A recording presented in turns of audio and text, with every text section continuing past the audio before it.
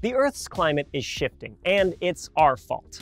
Not Seeker specifically, I mean humans in general. We're digging up and burning sources of carbon that otherwise would have been locked away within the Earth, adding it to our atmosphere and driving average global temperatures up. So why don't we take the carbon that's in the air and push it somewhere else? Well, that's the idea behind negative emission technologies, or NETs. They're one possible tool to stop climate change, but they aren't the silver bullet.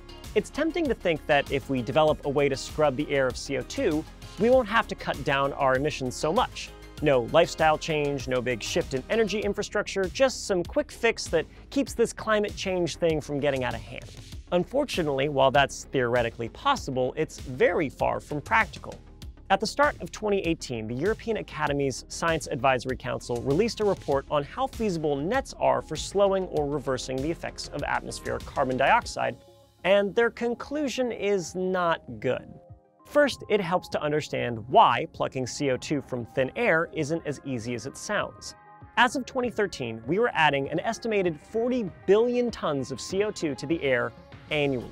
While that's a lot of CO2, it's not very concentrated. There are only about 400 CO2 molecules per million molecules that make up our air. So if you want to just neutralize the stuff we're putting out each year, you're going to have to churn through a lot of air. Jennifer Wilcox, an assistant professor at Stanford University, imagines what she calls a synthetic forest.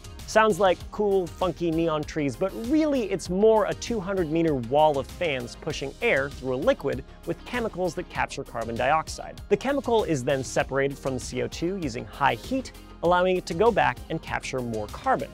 What's left behind is high purity CO2 that's easier to liquefy or repurpose. Now, you may have noticed that this process isn't passive. You need to put energy into it.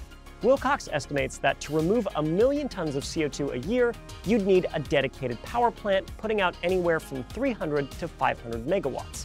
So to balance out that 40 billion tons we're emitting annually, that works out to 40,000 additional power plants. And that's assuming you use carbon neutral power. If you use a coal plant, you emit more than you extract. A synthetic forest isn't the only possible negative emission technology. We could go al natural and plant more forests. Let the trees do the work. Except planting new forests is hard, and we're already deforesting what currently exists. Really, it'd be better to get that under control first. Another alternative is sprinkling iron into the ocean, stimulating photosynthetic plankton to absorb more CO2. But that process is kind of like unleashing a tiger and hoping it takes care of your gorilla problem.